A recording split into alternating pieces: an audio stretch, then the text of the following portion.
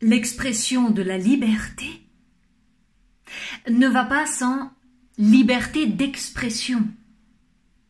On déduit l'une de l'autre quand on ne réduit pas l'autre à l'une. Et la liberté ne supporte pas les lacunes. Plus grave, elle se veut sans contrainte et sans entrave. Elle ne peut être désacralisée sous prétexte qu'elle est là, sacrée. Mais selon le contexte, elle, elle n'hésite pas à désacraliser le sacré, à le massacrer même, au nom de la liberté. Et on le crie sur tous les toits, ça et là, que la Tunisie a cessé d'être un État de droit. On accuse le pouvoir d'abuser du pouvoir, d'être arbitraire, totalitaire. Et on prétend que tous les opposants finissent par se retrouver en prison pour un oui, pour un non.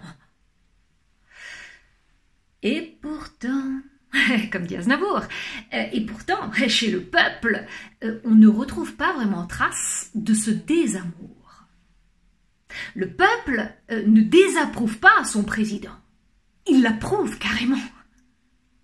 Et je m'en vais vous exposer les raisons de son soutien inconditionnel au père de la nation.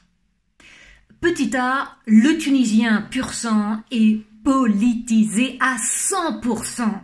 Et il sait que pour changer sa condition, euh, si pitoyable soit-elle, il doit donner du temps au temps, comme le disait jadis Mitterrand. Petit B, le Tunisien pur sang, sait que pour lutter contre la corruption, il faut un maximum de correction. Au niveau des actes, mais au niveau des paroles aussi. Donc tu es libre de penser, mais non d'offenser.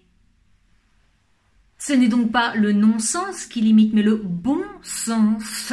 Il n'est pas Charlie. Ni Charlot, d'ailleurs. Petit C, le Tunisien pur sang, sait que sa maison ne peut être bien gérée économiquement ou écologiquement que si elle est gérée honnêtement. L'épuration éthique euh, n'est pas en effet très catholique, elle défraie la chronique, euh, comme tout ce qui est islamique. Petit D, le Tunisien pur sang, c'est ce que c'est que mouiller le maillot, ne pas souiller le drapeau, risquer sa peau pour relever le niveau de ses amis, mais aussi de ses rivaux. Et c'est ce qui vaut à Christ Sayed d'être coiffé au poteau. On lui en veut d'être le premier à exiger ce qu'il faut.